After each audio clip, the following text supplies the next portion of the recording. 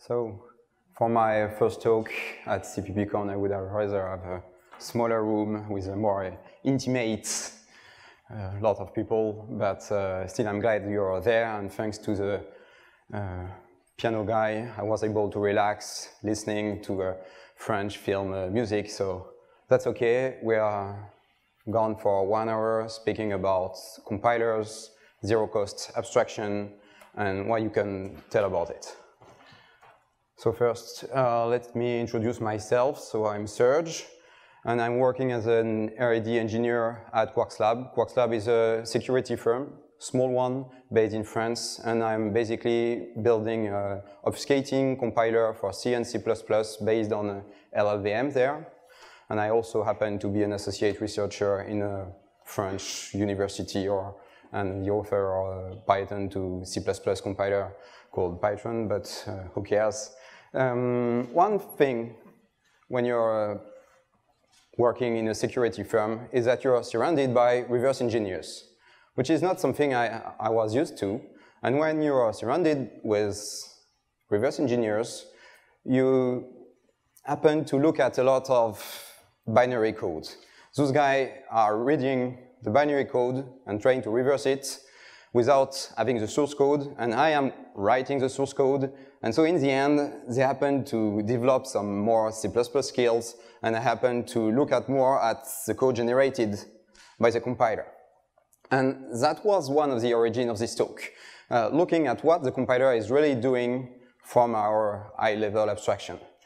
Uh, another reason why I'm giving this talk is I happen to be the peon for Joël Falcou when he's teaching C++ in France sometimes. And every now and then he says, at that point, the compiler will do this. And while he is talking, I just verify, and sometimes, well, you know, everybody knows that the compiler is doing something, but everybody knows that a sentence that begins with everybody knows uh, does not always end the way you want. So, um, there is this famous quote, C++ generates so little garbage. Well, it doesn't really give tribute to the important guy here because the language is not responsible for generating anything. It just states the grammar, the things you're supposed to, to do, but there is nothing that states from this specification you must have efficient code, right? So C++ is a nice language because it makes it possible for a compiler to generate little garbage. You can compare this to Python. Python is my favorite garbage collected language because it makes it very hard for a compiler to generate no garbage. It's still possible, but it's difficult, right? And it's easier, but still difficult from C++. And the thing we like, one of the things we like about C++ is it's this costless abstraction, zero overhead. We've been here hearing this a lot. Um, you can build complex software and in the end still have efficient assembly without adding cost. No, there is no free lunch. So there is a cost. But the fact is that you don't pay the cost at runtime because you have a bunch of people that are paying the cost writing the compilers. And those people suffer so that your code don't suffer, right? So you don't pay it in the execution time, but you pay it in the complexity of the language, right? And you pay it in the complexity of the compiler. But who cares, because you're not paying it in the end.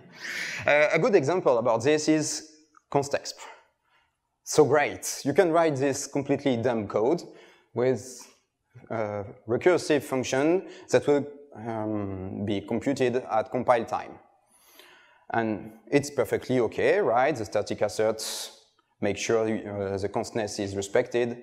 And if you compile, compile this with version of Clang, you get almost one second of compilation time right? And then you remove the const and the static assert and you just print the output and then you have an execution time of three seconds. So Fibonacci executed its um, three milliseconds and compiled with constexpr is almost one second. So this means that the compiler is paying the cost in compilation time, and you don't pay it at runtime. But it is paying more compiling than it would if it had gener generated the binary, run it, and then get the result. Because if you have a look at how constexpr is implemented, you can, for example, try to change here the 26 value to 27. And if you do this, because this is a recursion of Fibonacci, you end up doing a lot of things, you got an error. Not because the static assert is false, but because evaluation hit maximum step limit is reached. What does it mean? It means that Clang, in that case, is in fact an interpreter for the C++ language that interprets the whole stuff so that you can have your fancy constexpr thing. So the cost for the compiler guy is just rewrite an interpreter for the C++ language. And that's huge. But in the end, you don't pay the cost because you have no execution time. Okay, see the balance? So uh, in all this example, I will be using Clang as a, uh, the front end and LLVM as the middle end. Uh, if you followed several talks this week, you're already used to the LLVM bitcode. If you're not, well, you can see it as a decorated SSA C code, but that's really an abstraction. Um, and here a disclaimer, all the things I've been using have been tested on my laptop with a rather old Clang version, on a Linux laptop, on AMD 64, and there is absolutely no guarantee that this will be reproducible in another compiler, in another target, on anything, which leads me to a very bad property of C++. There is no guarantee that you will get optimized. You just cross fingers that the compiler will understand what you want, you can check, but there is very few uh, guarantee in the standard, right? So here I will not be giving any uh, golden rule, you have to do this because this can be optimized by the compiler, because it would be lying. This compiler can, on this configuration, can optimize things, right? And what we are going to see in the rest of the talk is just hints about what kind of situation, what kind of abstraction a compiler may understand. But it's a may, it's not a must. So first abstraction, functions. Very important piece of any code. So can be used for various stuff, giving a name to a block of code just as some piece of documentation, avoiding redundancy, abstract some behavior with respect to the types thanks to overloading. Still, we're using it a lot in C++. But it has a price, because when you do a function call, the first thing you do is save all the register, and then jump to the function code, perform your stuff, and then jump back and restore. So it costs you something.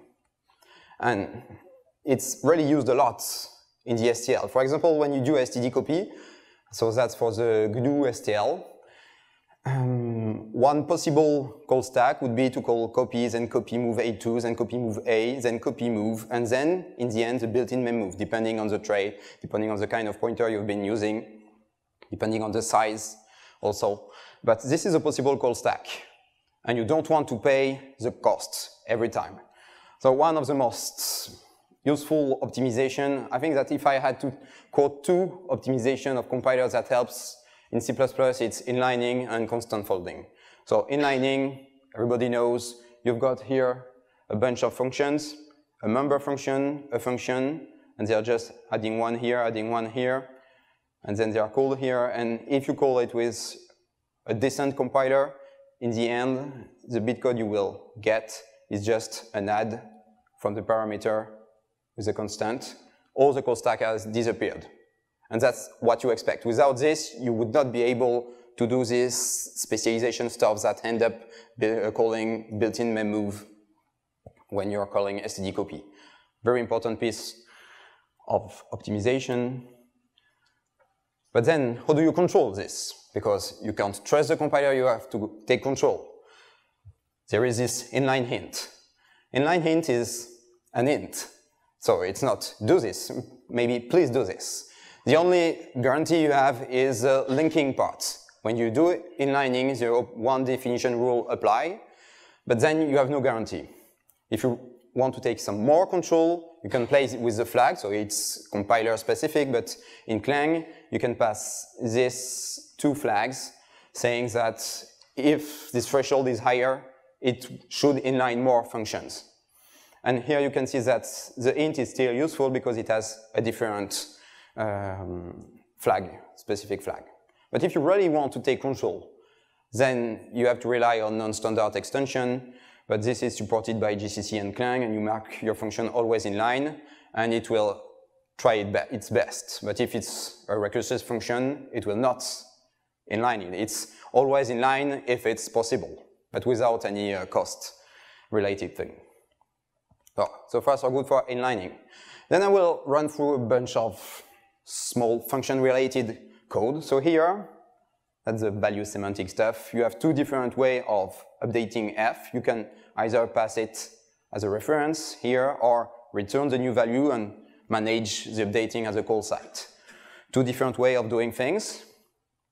Some people will say the golden rule is to always pass by value and so the golden rule is always to pass by reference. I will just check on my setup. I have highlighted the important part.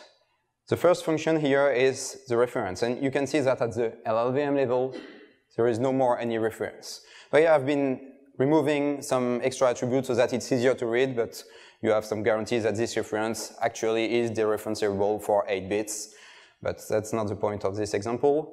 You will do a load to get the value into the, from the pointer, and then the store to update the reference, right? So that's different from the scalar version, where you just add and return, right? So there is an extra memory manipulation when you do reference.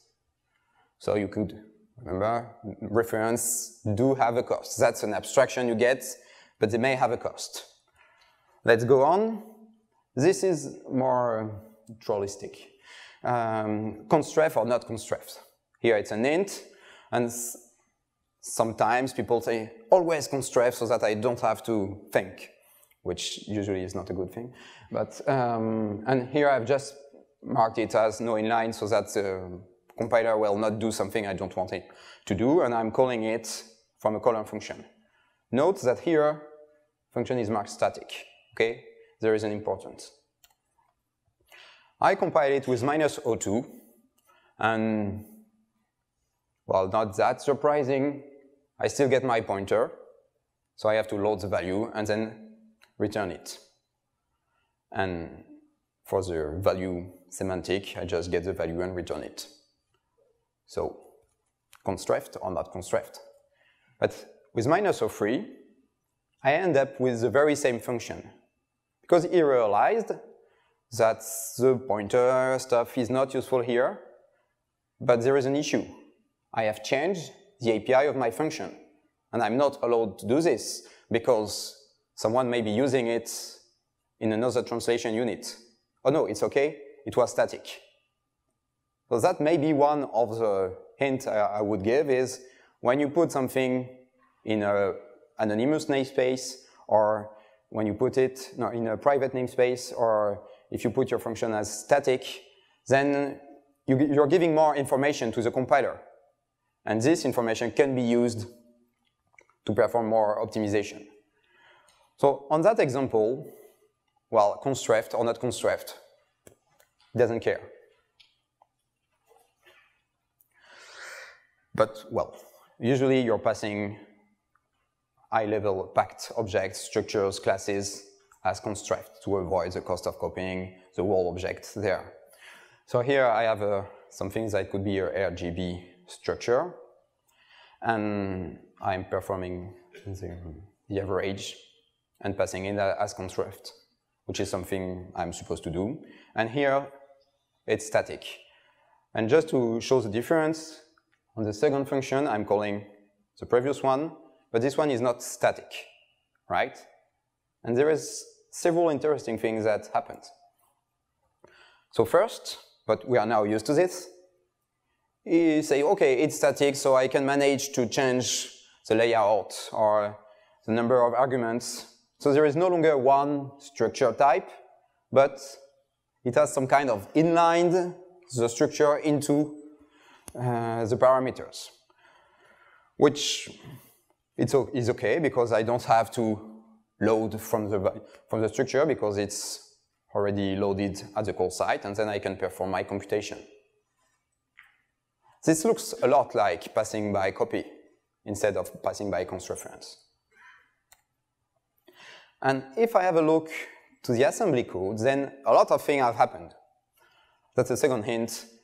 Looking at the bit code is not always enough because something can happen at the back end. I have my two functions. This one is a uh, exported one, and this one is a static one. So you can see here there is a bunch of instructions that are related to the original one. But from the previous one, I am first doing a bunch of move. So that's loading from the const ref. But I have to load them because I can't change the signature of this function. But once I have loaded everything, I'm jumping. So I'm not making a call. The function was marked as inline. So I'm making a tail call, which basically avoids copying registers before doing the jump. And then I do my regular function. So a lot, of things have happened there. So thanks to the compiler. Another abstraction you get is, uh, or technique you can use is tag dispatching. Tag dispatching to have different behavior depending on a parameter that is not actually used in the computation, but just used to change the signature of your function. So different behavior, different types. But you could say, well, I'm using an additional parameter, so maybe an additional register, maybe it will increase the register pressure and maybe lead to register spilling or whatever. This may sound like less optimized. So let's have a look to what happened. Again, my, my, my function were marked as static. It's static. Whoa. The parameter has disappeared. But that's the same name. If you don't have different parameters, then that's the same function name. No, it's not because of the mangling. So the um, difference between the two functions is already done here at the name level. So we don't really need the type, the extra parameter anymore. So there is no cost in using tag dispatching for static functions. Then this marvelous lambdas. I'm not quite sure uh, I'm supposed to write something like this, storing a lambda in a pointer, but uh, it actually works here because I have no uh, capture. Two different way of declaring a function, one good way and one bad way, but uh, who cares about this? That, the interesting thing is that I have the very same code in the end.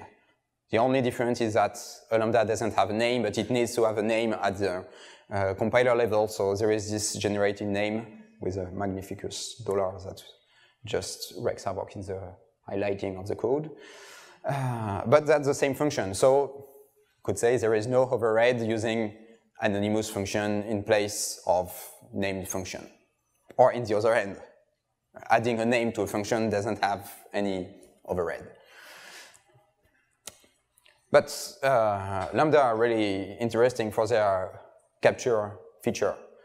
So here I'm doing something, I, I have some difficulties to explain the generated bit code, but I will try. This is a function that generates a function that perform an addition with a captured value or a multiplication with a constant. What would you expect as a signature for bar from a compiler point of view? My first guess was, well, it returns a type related to the function. And for foo, it will return some kind of structure like a structure function, and that would work. But actually, that's not the case at all. Bar returns void. So, like my lambda has disappeared, it doesn't return the function or whatever. But if we have a look at foo, then we begin to understand. foo returns an int. And that's exactly the closure, the captured parameter. So what it does is, at the call site, the function will be there, the return function, but it's just a type. It's not a value. The value is its state. So you return the state, and at the call site, you know that you've got your function, and you can use this state to run your function. But that was funny to see how it's represented um, by LLVM. I don't know if GCC used the same um, approach. I would assume yes, because otherwise there would be some ABI incompatibility, but I'm not sure. Uh, second high-level piece of abstraction, you've got your functions and you've got your data. And data are associated to struct and classes. So they are used to box things, box values into types so that you can associate some processing to your type, associating processing to the data, manage the lifetime, and so on. Well, that's a piece of abstraction we are relying on. So we are boxing value. Uh, there is this famous test, the Stepanov test that gave his name to a famous password. And I will just check what happens here. We've got two kind of boxing, boxing through a structure or through inheritance. And here I'm allocating a new object, and I assume that it will create this scope and this scope. Let's have a look. First, it's allocating some raw memory, the interesting thing here is that you get to understand how a constructor is called at the bitcode level. So get, first you get your raw memory, and then you, you do your, this kind of placement new, like I'm storing some value into this memory, the bitcast are here to manage the raw memory converted to the real types, and then assign the first character and then the second character with some memory moving. This one I can't really explain because it's storing first a zero and then on that very place storing this character and the 8 bits afterwards this character. Quite strange. If we have a look at the generated assembly, there is still this at the very same location, first storing zero, and then not storing the first character and the second, but storing the packed value. So maybe someone in the audience knows why we have to store this here. Maybe to zero because ARIX can hold more than 16 bits. So maybe to zero this and then store, but I'm not quite sure, so I won't tell. Um, some more boxing and unboxing. Here you have a struct with a struct with a struct, so a nested struct hierarchy, hierarchy, and then individually setting the values. What happened? You would expect something like setting the first value, setting the second value, as in the previous example. But in the end, he realized that these all are integers. So instead of using this complex type, we can just use an int of 48 bits and begin to store value, but instead of storing value in the first bits and so on, we can do some computation just to avoid storing too much. And that's why you've got this shift left and OR operation instead of just moving data because computation is supposed to be less expensive than uh, memory operation. So it's not only unboxing stuff, it's also merging representation when it's possible. Then you've got member functions. Member functions, are there a good abstraction? Should you write functions that take the structure as first parameter or not? Well, surprisingly enough, a member function is very Pythonic because the compiler sees this as a function with the this parameter as first parameter. So there is really no difference between a member function and a function that takes the object as first parameter. And then you, you call your stuff. That really doesn't matter. So just like the self in Python. Makes me happy. This example tries to showcase what happens when you do a copy. That's the default copy constructor. I have a very large object here. I first initialize one global one and then perform a copy from the parameter to the global one. There's no point in doing this in a real situation, but for, for, the, for here it's okay. First, this is a global variable, so it's default initialized with a bunch of zero. And that's flagged here. And then, whoa, wait, the C guy would be happy because I didn't write anything specific here, but something that looks like a memcopy appeared. So that's not the C memcopy, right? That's a LLVM built in that abstracts the memcopy behavior with respect to the different types that I don't really understand, by the way, here. And then it's up to the backend to select, I guess, during the lowering, to select, do I have to call a memcopy? Can I just use an unrolled loop? But the copy constructor happens to be recognized as an idiom that can be optimized later. So that's a good news. That's one exception to the no standard, no guarantee in the standard.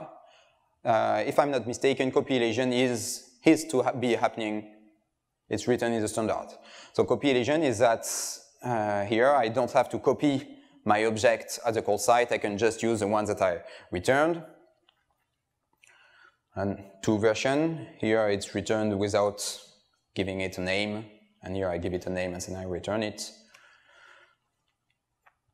And in fact, by design, copy elision is respected because when you return a value that is not a scalar but a complex object, then instead of passing it uh, as a return parameter, you pass it as a function parameter with a special attribute here, the sret, which flag it as this is a return value. And so you don't have to care will there be a copy or not because the object is already created at the call site and you just fill stuff in right? So copy elision works uh, by design. And if you use a temporary, well, it just doesn't matter. You've got the exact very same code. Then, virtual method calls. Hot topic. So here I've got my interface and I implement it in A, and for the purpose of this example, I mark the do it function method here as final, and I'm calling this do it method either through the interface or through the actual object. So my foo and bar function are not static, so the compiler can't make any guess. So not very surprisingly, there will be a cost here. And you've got these vtables that happen. Here, instead of, well, first, here it's final. So I know that this will be this function that is called and it gets inlined and everything works. And here I have to look into the internals of my structure to get the vtable pointer and then access to the actual function pointer which is why here, instead of calling a function, I call something that is in a register, so I have an indirect call, and I do pay for this. But there is nothing the compiler can do here because, well, uh, the interface has no reason to be implemented only by A. So I pay for the vtable. But in some simple case, and maybe in more complex case, but I've not explored this, here I'm telling the compiler, well, I have my original object A, but I see it through its interface before calling it, right? And as it's through the interface, the vtable may be involved, but hopefully it's not, because, well, it's just in this scope, I can know the real type, so I don't have to perform a dynamic lookup for the type. And so it's devirtualized and it can be inlined. Just one word. What costs here is not only the fact that you have to look for the function, but the real cost is that as you don't know the function, you can't inline it. And remember, inlining is one of the uh, keystone of optimization for C++. and vtable just destroys this.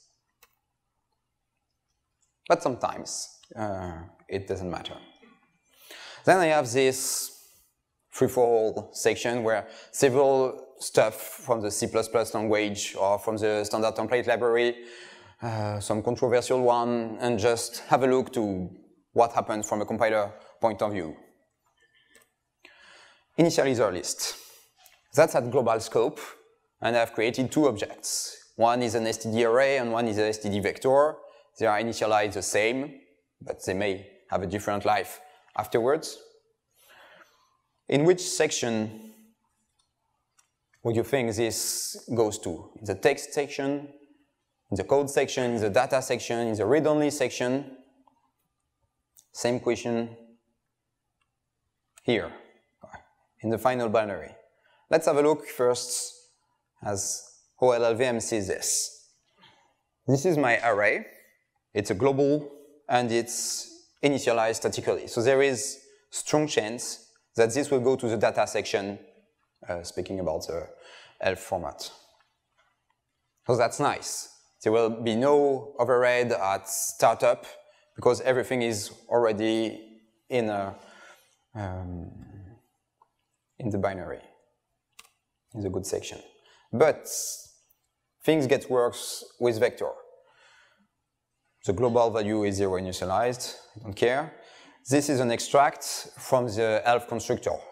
The ELF constructor is uh, the function that gets initial uh, that gets called before the main, or if you're using a shared library, when your library is loaded first, all these things happen, and then you actually run your code. So before the main, you will initialize your vector, which is what you expect because it was global, but you initialize it by storing every single value one after the other. So here the loop has been unrolled, maybe with a larger initializer list. Uh, no. Uh, one thing I, would have expect is maybe put this data into the data section, in the rodata, and do a copy, but that's not what happens. So there is a slight overhead using a std vector there, because you pay at runtime for the static initialization of your vector. Then this auto. Some C guy would say, hmm, auto looks like magic, so if I want to be sure, I write my indexes. So the things that happened is what I have been asking for. Let's have a look. That's a bit of complex code. That's the inner loop. You've got something that takes care of the induction variable, the phi stuff, but you just have to count. That's one, two, three, four, five, six, and a branch. That's the auto version. And here, one, two, three, four, five, six, seven plus a branch. So the index, loop indexing, the loop indexing through a scalar actually generates one more instruction at the LLVM bitcode level than the auto one. Why? Because of the highlighted stuff here. When you iterate with auto, you're iterating through the iterators, so through the pointers. And so the induction variable of your loop is also the place where you will store the data. But when you're using an additional index, then you still have to move to the pointer. So you still have this pointer that does the induction, plus one integer that also performs the induction. So you have two, um, two variables that do basically the same stuff, right? So this may increase, I don't know, maybe uh, the register pressure. It certainly doesn't have any impact on the performance in the end. But still, high level, low level, but low level does not mean you're doing it good. Low level means that you can do at the low level everything that you can do at the high level, but you can also do bad things that you would not do at high level because uh, you don't even think about this. Then indexing a vector.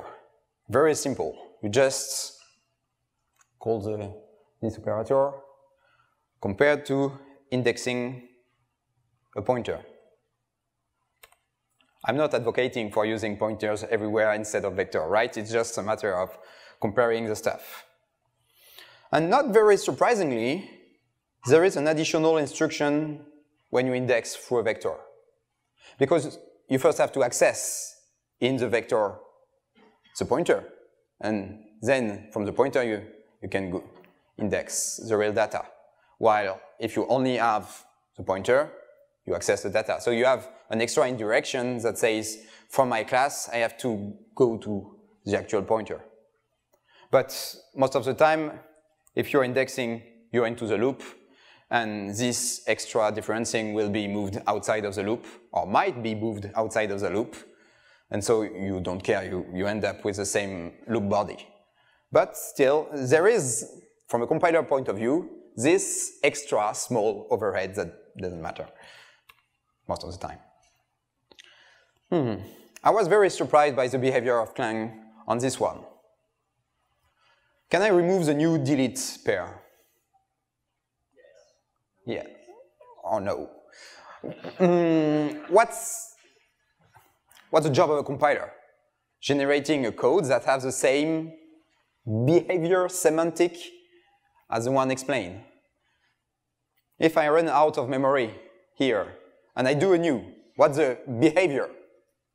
I've got an exception or a crash depending on setup. But if I remove the new, then I no longer have my crash.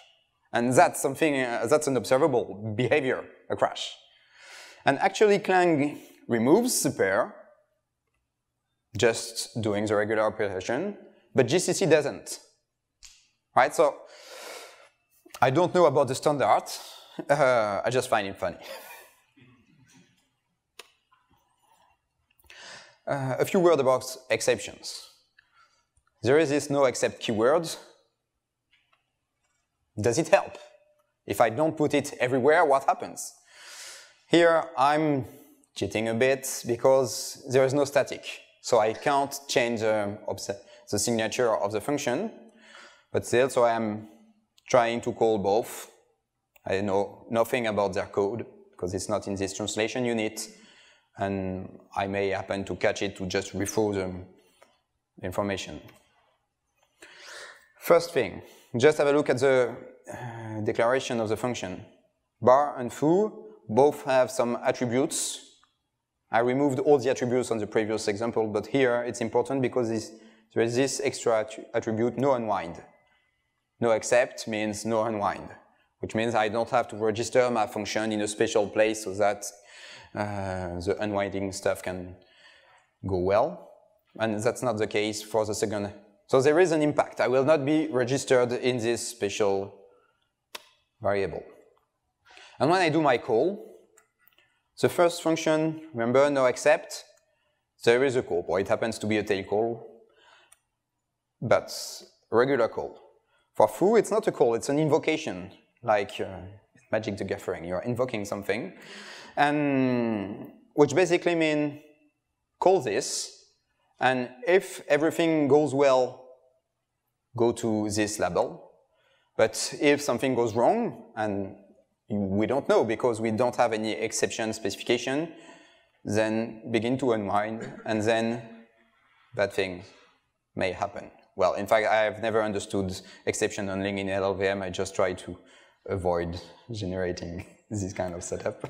but um, it happens to be processed differently by the compiler, and it does generate a bunch of code. So it's not a myth that if you go this way, in the unwinding, then you're paying a lot, right? Because there's a lot of code executing. A final one, uh, in my, uh, one of my previous life, uh, well, I'm not that old, but still. Um, I was doing HPC and there was, this number crunching routine and you don't use C++ for this because, well, you know C++, you don't control anything. I've just been writing the outer product the very dumb way, even using indexes, right? And I compiled this with minus O3 minus march equal native. And I will spare you all the outer loops, but in the inner loops, LLVM does recognize that you can use SIMD instruction because you have this vector form of the floating point multiplication. So that's good news. I don't have to care on simple example about vectorization. I get a free abstraction of my hardware. The compiler happens to, to understand it. Or in real life, uh, like signal processing, uh, the automatic vectorizer can't do its job on many algorithm uh, shim, but on this one, it's okay. So, the bring home message, the only thing you have to remember, because I, I told you that there won't be any golden rule, is that uh, we do love compiler, compilers because uh, they are responsible for uh, the, the free abstraction. They do their jobs, and so we can do ours, which is just engineering, software engineering, and not uh, compiler engineering. But as they help us, when someone helps you, uh, you have to communicate with him, right? Uh, so have a look to the info page of GCC, have a look to the manual help of Clang, and there's a plenty of flags that you can use to tweak the way you communicate with him. Most of them are, some of them are portable, some of them are not, but still, it's important. And then you don't, you can't trust, really trust the compiler. It's not because I've showed you that uh, inlining works, that uh, initializer, initializer lists are okay with STD arrays, that it will always be the case, right? It's, it should be the case, but there is no guarantee. So it's nice to be able to verify the codes, the generated codes, and generated bytecodes, the assembly. When you're in doubt, uh, the source is just the input. You have to have a look to the generated parts. And then a bunch of thanks because for the, the people that helped me to improve on the high level are Joel and Pierrick, and the friends from Quarks Labs that helped me improve at the lower level and all around thanks from my firm for letting me talking here and CPPCon for making it possible to talk.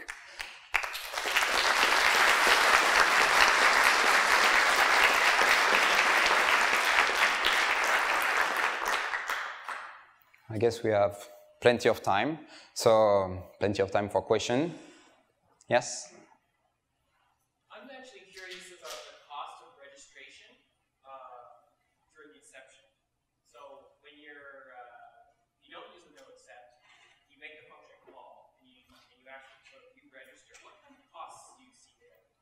I think, oh, so the question is, uh, I told you that if you don't use noexcept, then there is some registration of the function in a particular structure. And what is this cost? I think it's a compile time, uh, it's, um, the function is registered in a global variable. And so that's, there, there may be um, space cost, but not a runtime cost. Yes? Uh, what about the idea of removing inlines from the code base and allowing the time optimizer to inline for us? Do you have any experience whether or not that's a good idea? So, uh, if I understand well the question, the question is, uh, should you just remove the inline keywords everywhere? Um, the only place where I've seen inline useful is really for this one definition rule. I mean, if you put a function in the header, then you have to mark it inline so that you don't get a linking issue. But as an int, like you're in the, you have a static function in your translation unit, uh, I generally don't put it in line, and it's always.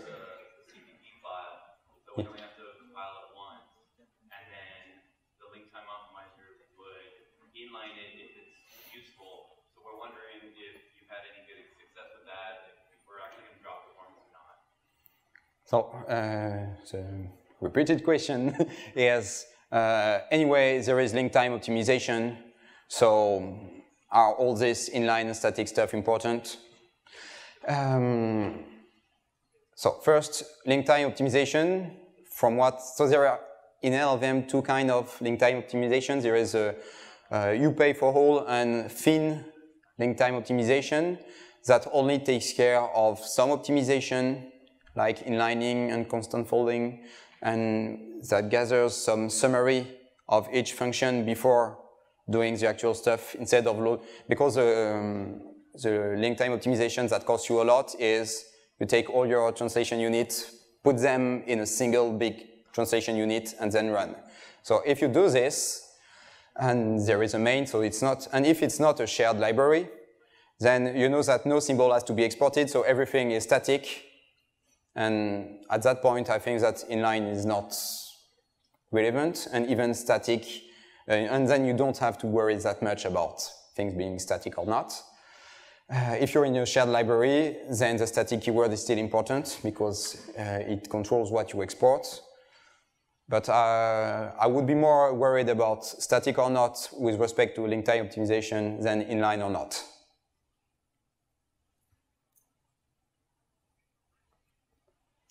Yes?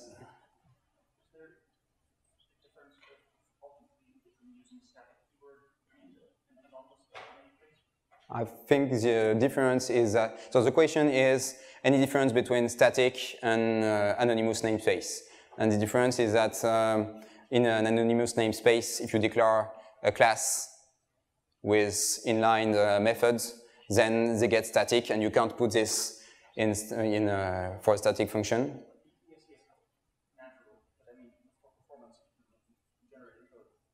I think there is not.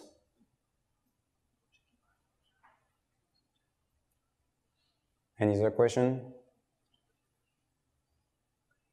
Yeah. In what situations can it optimize a call by reference into a call by value on a class method? In what situation can a call by value be optimized? In what situations can a class method have pass by reference be optimized into pass by value? In what situation? Yeah, like like for a global function, you showed that it needs to be static because if it's external, then this Mhm. have to change. Um, what's the rule like that for class members? I think that class members are not static at all. Uh, static like um, local to the translation unit. So you have to put them in a private namespace, in an anonymous namespace.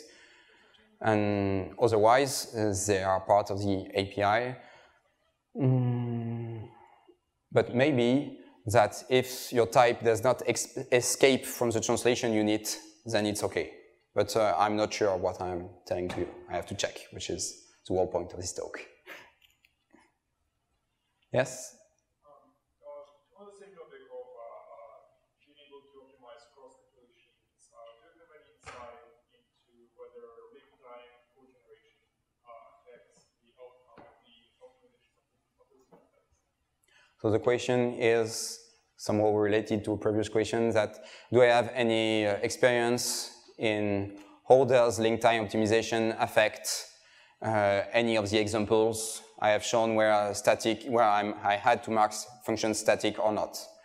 And my guess about this is that if you're uh, compiling into a binary and not into a shared library, then you can assume that everything is from, a, from the link time optimizer, then everything is static, which means that you don't have to worry anymore about respecting the API, except if you have uh, taken the address of the function and passed it. But um, and if you're building a shared library, then the API stuff are still valid, and then it still matters.